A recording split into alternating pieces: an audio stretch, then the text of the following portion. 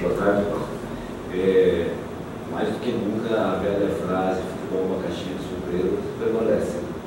Porque ameaçado de rebaixamento, o Botafogo reagiu. Venceu um grande dentro de casa, uma goleada, três gols cedo.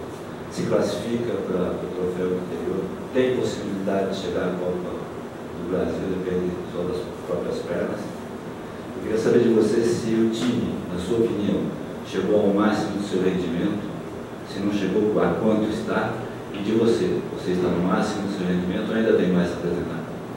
Boa tarde, é, acho que é, esse elenco não foi feito para brigar por classificação, mas, é, como eu disse, nem sempre é, futebol é como a gente é, gosta, planeja. É, o clube foi, esse elenco foi montado é, esse ano, e alguns times da, do Paulistão já estavam com uma espinha dorsal antiga já com alguns jogadores. Isso acho que custou um pouco para a gente até engrenar, entrosar, um conhecer o outro. É, e de umas partidas para cá a gente vem melhorando nitidamente. É, essa última partida contra o Santos foi uma noite especial, uma noite que, que coroou o trabalho desse grupo, é, junto com, a diretoria, com, com o torcedor, para que a gente possamos comemorar junto no final.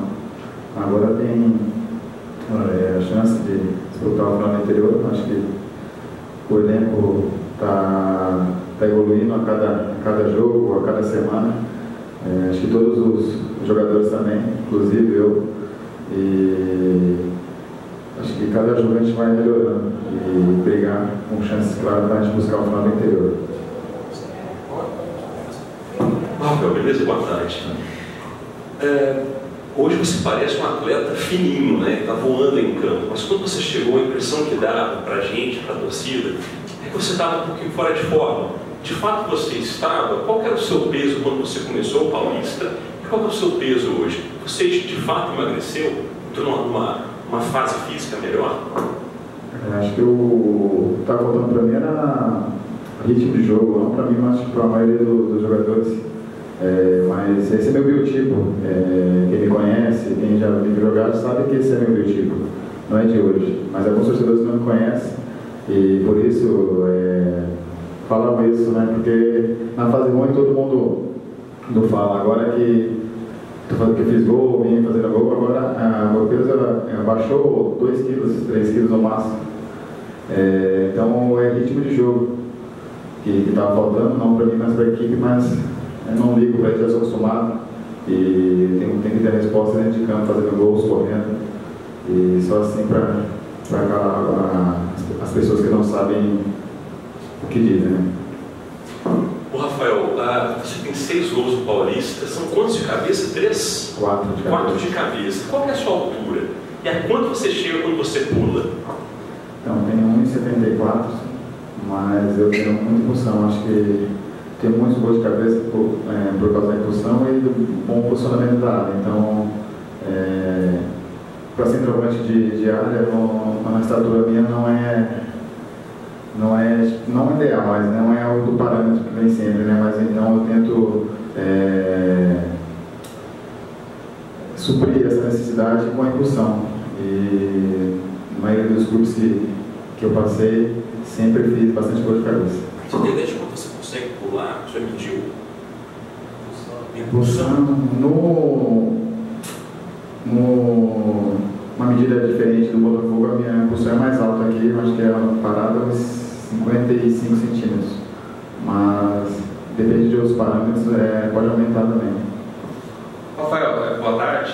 Parabéns pelo jogo, pela vitória. É, na saída do campo, você até respondeu que já tinha feito três gols em uma partida e uma outra oportunidade mas eu imagino por todo esse cenário, tudo que representava aquela partida, e foram três gols contra o Santos. É, foi a melhor partida da sua carreira? É, como você qualificaria essa partida? Imagino eu que os gols vão para o seu DVD também, né? Sim, feliz, acho que foi uma das melhores partidas sim.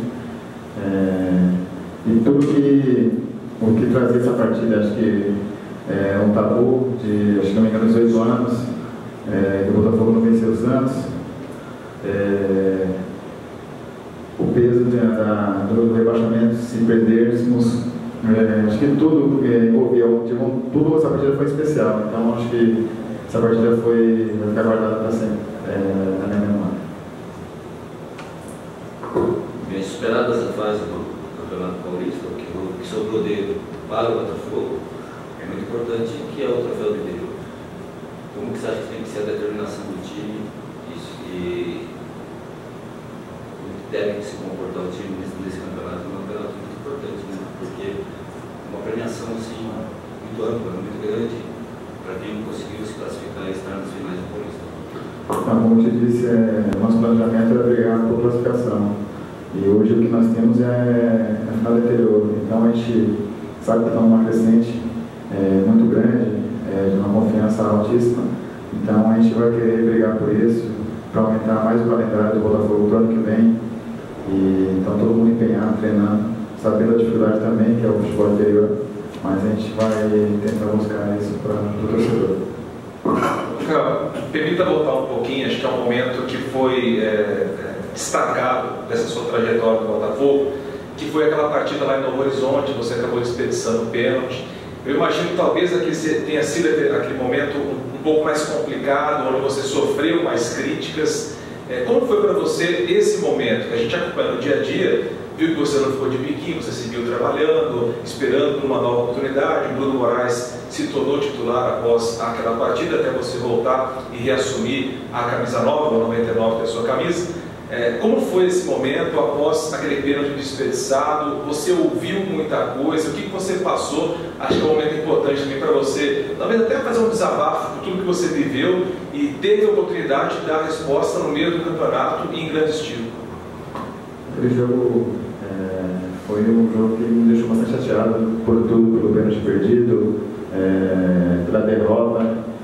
Então aquele jogo foi, foi bastante difícil para mim, mas eu eu não costumo ouvir muitas críticas e também muitos elogios. Acho que meu, meu, eu, sou, eu tenho minha autocrítica e depois daquele jogo eu, eu comecei a treinar mais forte. Não que eu não treinava, mas comecei a treinar muito mais forte.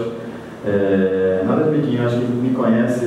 É, nunca fui esse jogador de fazer biquinho, não. Ao invés de fazer biquinho, é, minhas forças eram para treinar mais. E o Bruno é, e eu tenho uma amizade muito grande, eu torcendo para ele quando ele estava jogando e quando eu estou jogando ele está torcendo muito por mim.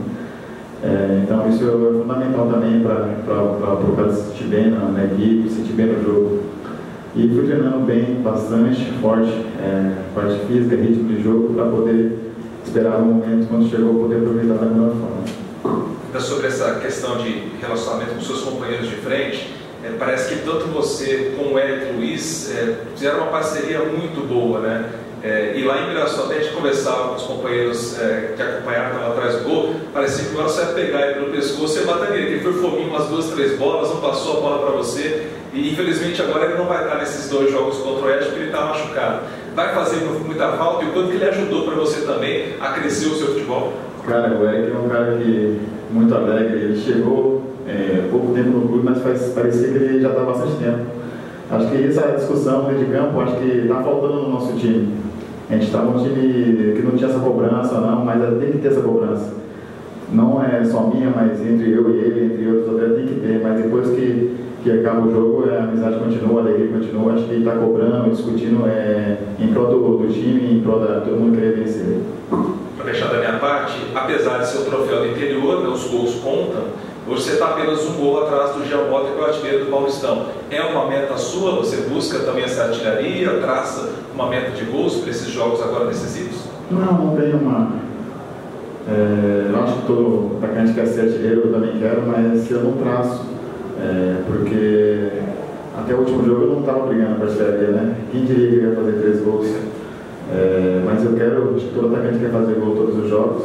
E fazendo gols eu vou estar ajudando a equipe do Botafogo. Então quero dar um ganhar o máximo, é, fazendo os gols. Quem sabe poder, é, enfim, no campeonato, se tiver que ser é, o artilheiro, eu vou estar muito feliz.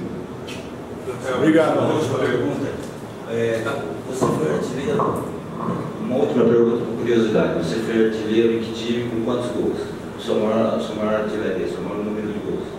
Eu já fui duas vezes artilheiro do Campeonato Catarinense é, e o maior número de gols que eu fiz no ano foi é, 30 gols quando eu estava no Figueirense em 2013. No mesmo campeonato? Não, o ano todo. O ano todo.